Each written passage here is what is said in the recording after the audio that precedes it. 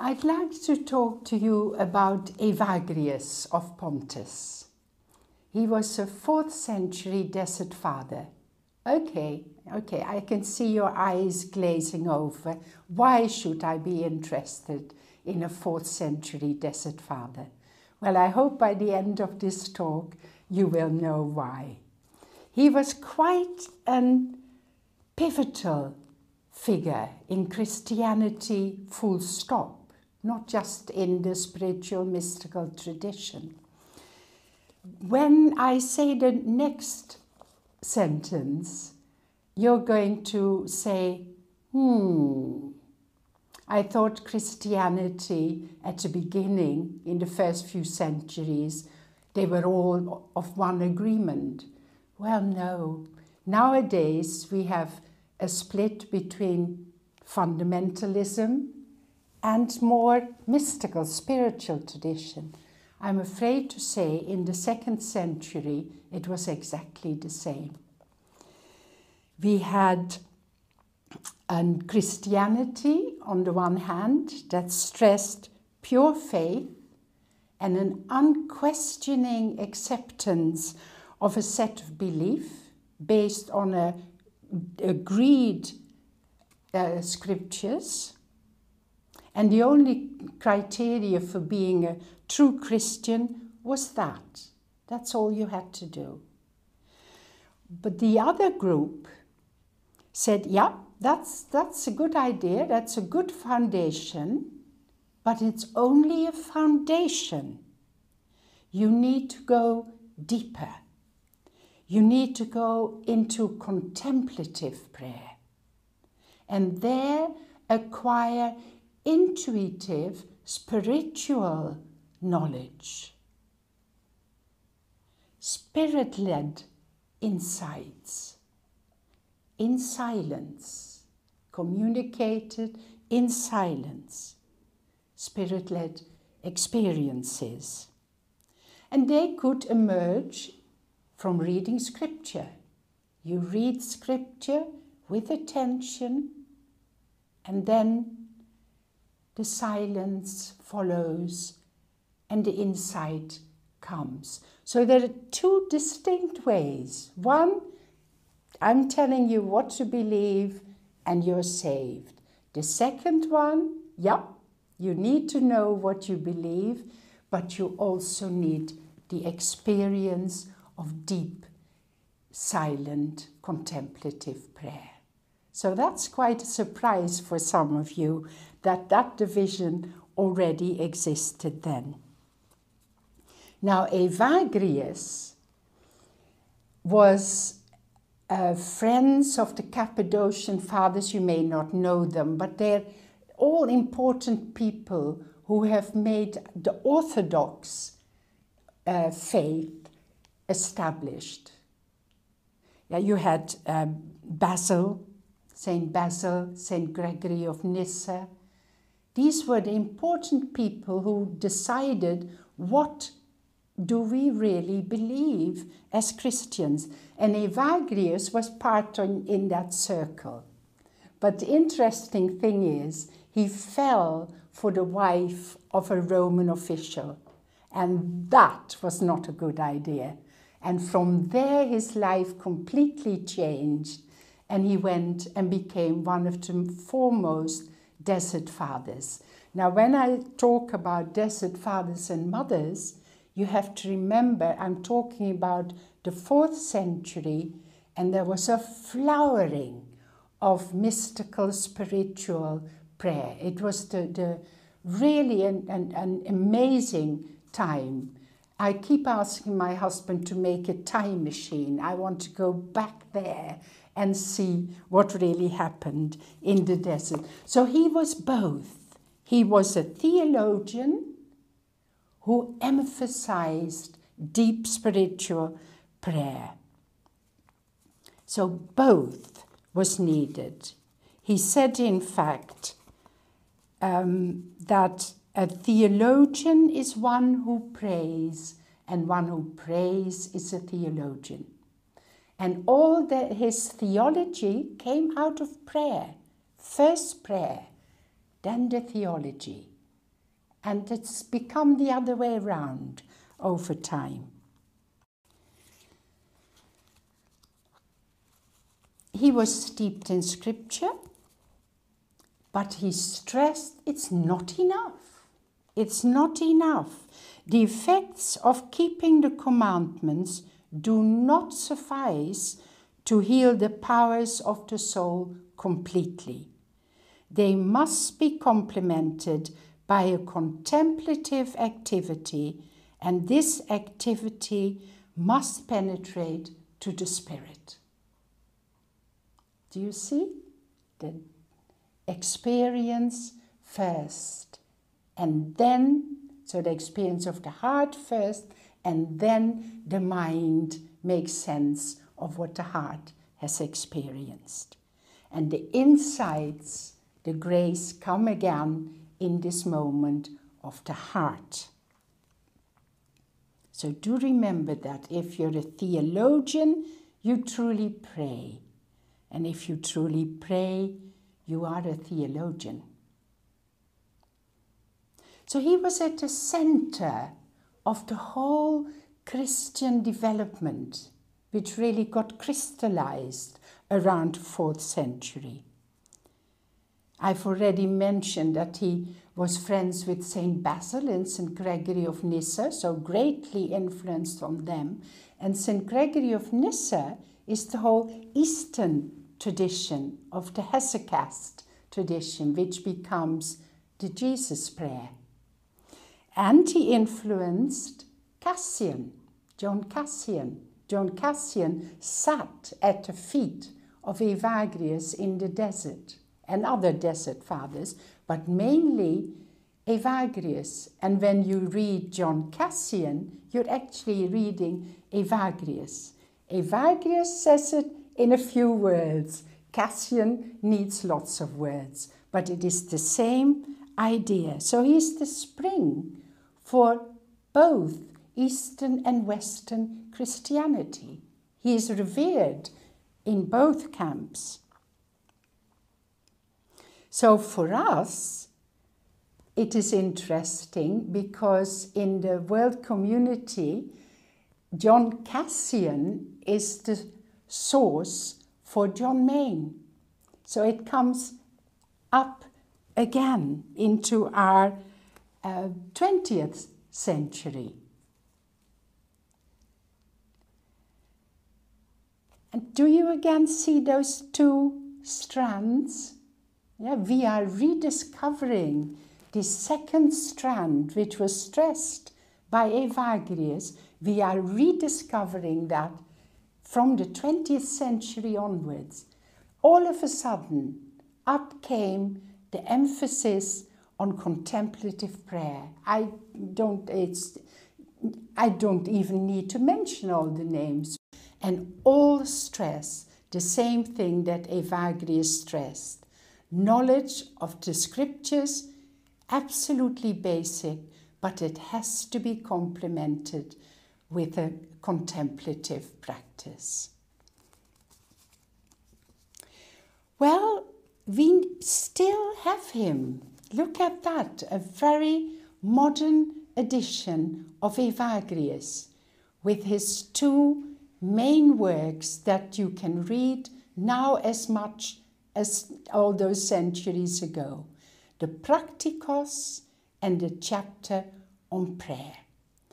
Again, these are short sentences which are there to make you think.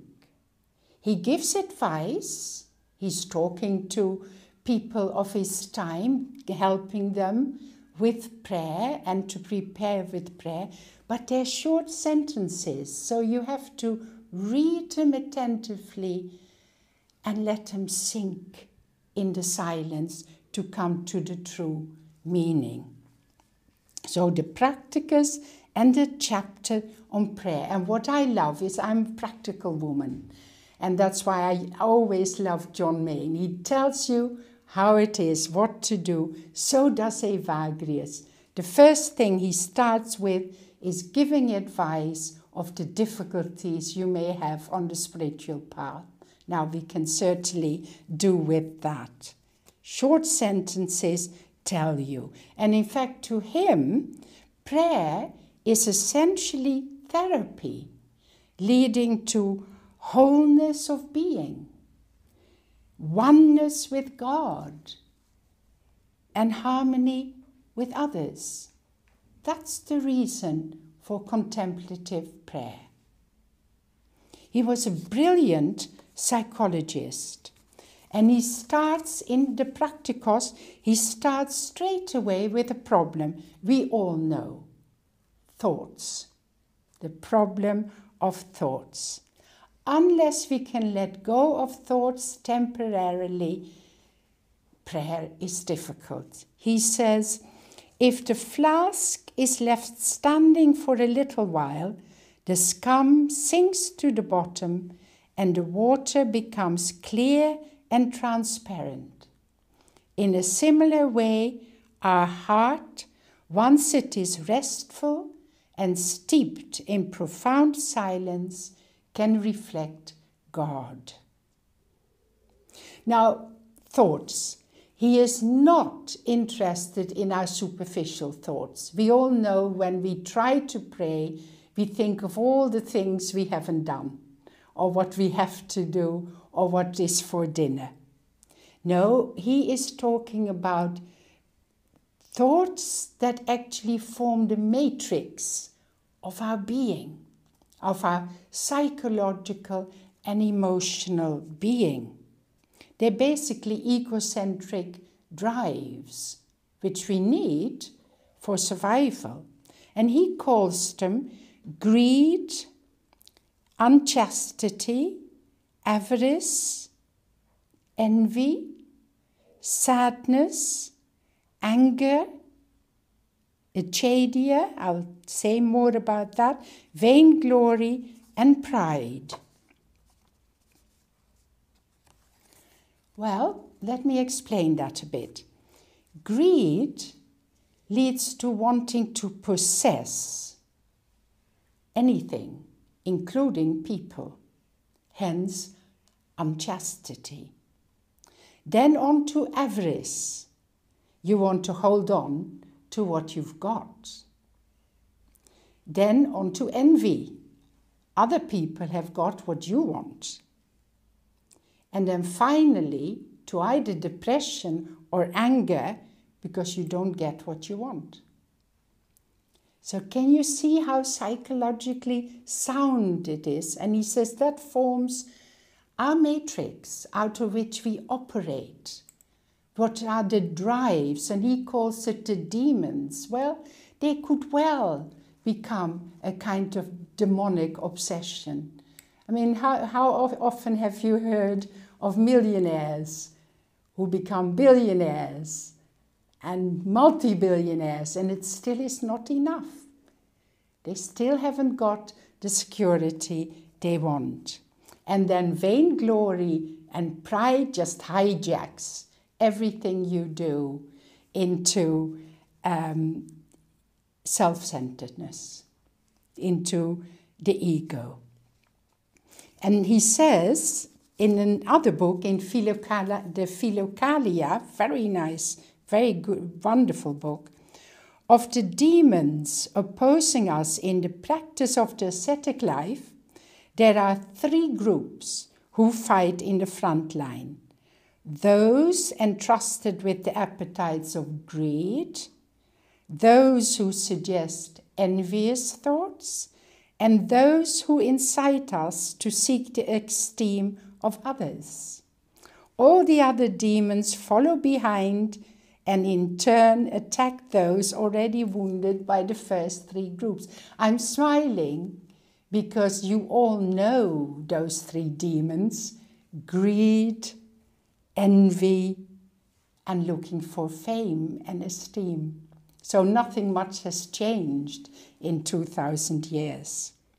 Now, Evagrius says his advice is this is our matrix but we just need to become aware. Become aware of what our are our drives. Become aware of that. Then we can grow spiritually. And nothing of that can be done without silent prayer. What he is talking about, folks, is what you read in every newspaper mindfulness. He is talking about mindfulness. Here we have our very first mindfulness teacher, fourth century from the desert. He says, Keep careful watch over your thoughts. And then he adds, Then ask from Christ the explanation of the data you have received. Again, can you see? Self analytical, become aware of your thoughts, and then comes grace. The answer doesn't come from your mind, but is a gift when you go into the silence of your heart. And this mindfulness of Evagrius is not just watching the thoughts. He starts with awareness of sensations, of feelings, of emotions. Then he comes to thoughts. That causes thoughts. Thoughts cause desires, and then you're into the action and you're lost. Or you write a beautiful book, whatever it is. But there is a very clear train of thought.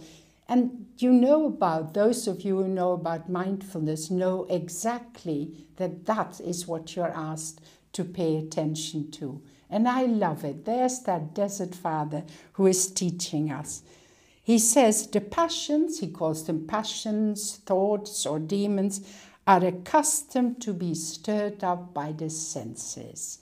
That is your first one.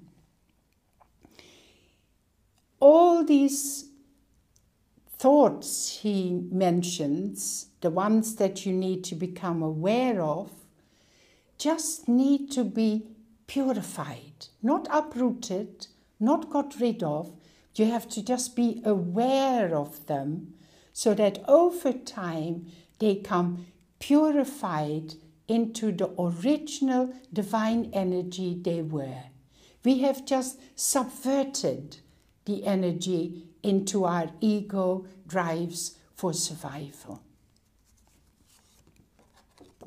And when we come um, to his chapters on prayer, we can see that mindfulness and prayer are working together.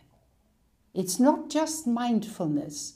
Without the silence in prayer that gives you the insight, you're only halfway there.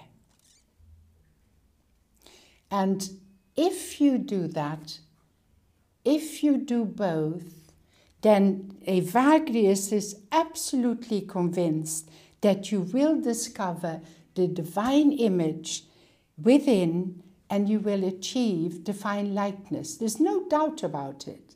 So, again, it isn't a question you might earn it or achieve it. No, you will get it if only you are aware of what you're doing.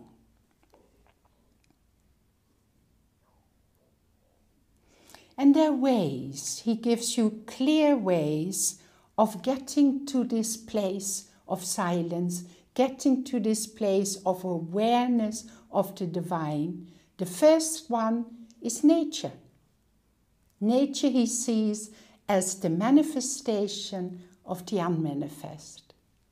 And then scripture, deep attentive reading, again, where you will meet the divine presence of Christ in there. See it as an encounter. And if things don't go well, don't despair. Don't despair at all. You do not have to be perfect at the start of the journey, according to Evagrius. He says, The Holy Spirit takes compassion on our weakness, and though we are impure, He often comes to visit us. And if he should find our spirit praying to him out of love for the truth, he then descends upon it and dispels the whole army of thought and reasoning that beset it. And there you go. You don't have to do it. All you have to do is try, and you will have help. When it comes to prayer, it is the basic teaching we get from everywhere. Let go of your thoughts. Concentrate on your word. All the Desert Fathers took scripture words and you will sink into the silence with the help of the Spirit and the angels. If they're demons, there are also angels because when the demons say, see that you are really fervent in your prayer, they will help you. all this practice, all this mindfulness, this deep contemplative prayer is never about our own spiritual advancement. It is not about that. But it is about the experience of unconditional love for everyone, leading to harmony and unity with all and I will let have have the last word in this. Happy is the monk who fused welfare and progress of all men and women with as much joy as if it were his own.